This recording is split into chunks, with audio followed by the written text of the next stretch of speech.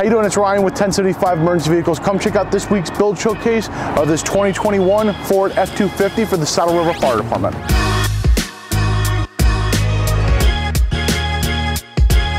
Thanks for checking out this week's build showcase. We're looking at 2021 Ford F-250. So we've got an M-Power light bar, dual color, Satita PB450L. We've got three wire M powers in the grille and tricolor. On the front bumper, we have four inch ORV white spotlights.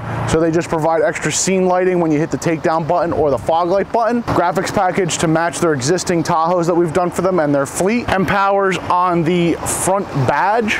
See our power light bar. Our antennas up on the roof. In the rear of the vehicle, three wire M powers, tricolor.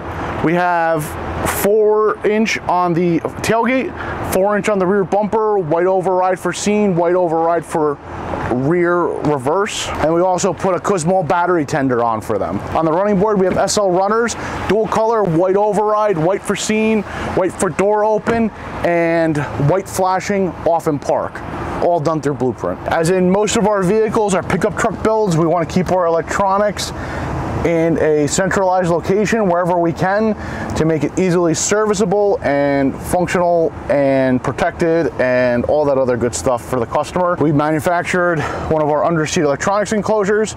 As you can see, it's got the notch out for the factory installed inverter. We've got our Kussmaul battery tender along with our display mounted on the side of the console. We installed two portable chargers for them in the back. We've got our 500 series amp, our fuse panel layout, and then we have um, our two radio chassis mounted in the back also. So since it's a utility vehicle, they wanted to maintain the seat. So we brought their radios up underneath. We added a little extension bracket so they can have the two heads nicely mounted. We have the handheld controller for the 500 series controller. Uh, that's gonna get mounted when they come pick up the vehicle. It's got all the different functions in it that we normally do. So we've got our slide switch We've got arrow stick function, we've got takedown, left alley, right alley, and we also have our cruise and low power features.